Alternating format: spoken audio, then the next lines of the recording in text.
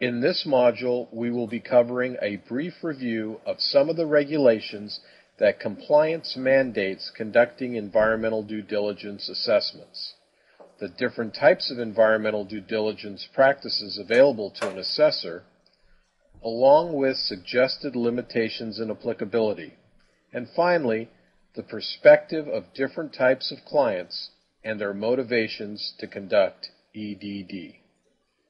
The Comprehensive Environmental Response, Compensation, and Liability Act of 1980, or CERCLA, along with the Superfund Amendments and Reauthorization Act of 1986, or SARA, were the first regulatory drivers that pushed real property owners, purchasers, lenders, and others to conduct environmental assessments to demonstrate a diligent effort to know the environmental conditions of a property as a possible protection from liability under these acts.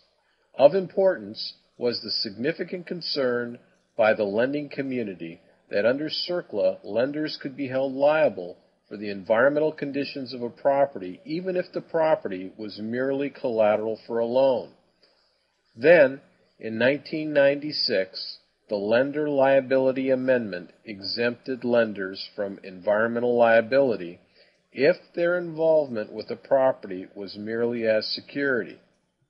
However, they could be held liable if it was demonstrated that the lender played a role, an active role, in the management of the subject property. Up to this time, the rules for conducting all appropriate inquiry was not yet established by the U.S. EPA. ASTM E 1527 was prepared by the environmental industry to provide guidance on meeting the AAI requirement of CERCLA. With the passing of the Brownfields Act of 2002, Congress gave EPA until 2005 to establish formal rules in conducting all appropriate inquiries. Simultaneously, ASTM was updating E1527 and came to agreement with the EPA that the new version would satisfy a portion of the requirements for conducting AAI under CERCLA. For more information on these acts and regulations, please refer to the history section of this course.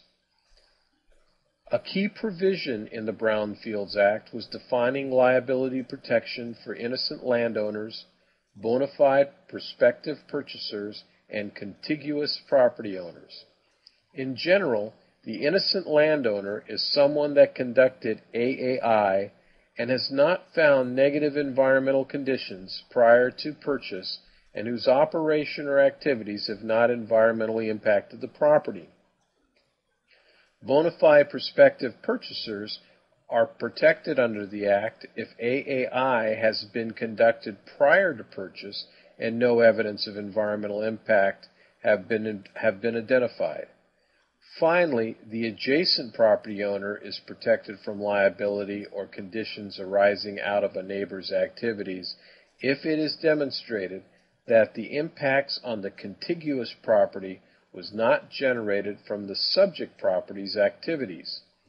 These categories were somewhat defined under CERCLA, but there was enough ambiguity that the Brownfields Act provided further clarification. One additional note. Although compliance with the all appropriate inquiry provision in CERCLA requires the performance of an ASTM E 1527 05 ESA, that is only a portion of the tasks required. AAI has additional requirements for the assessment as well as actions to meet continu- continuous obligations on a go forward basis.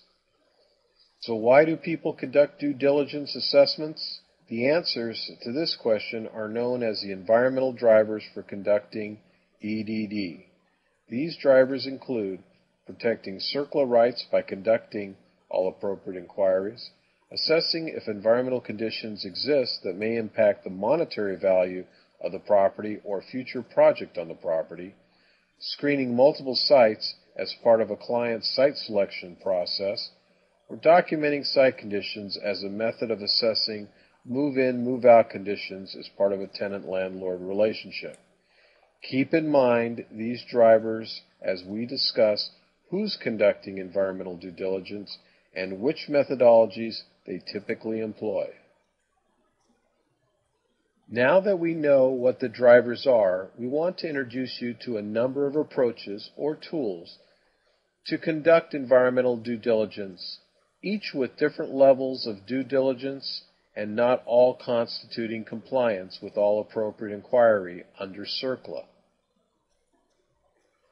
The most common tools are the ones you see here in this table, ranging from database reviews to an in-depth assessment beyond the ASTM criteria for a Phase 1, there is something for everybody.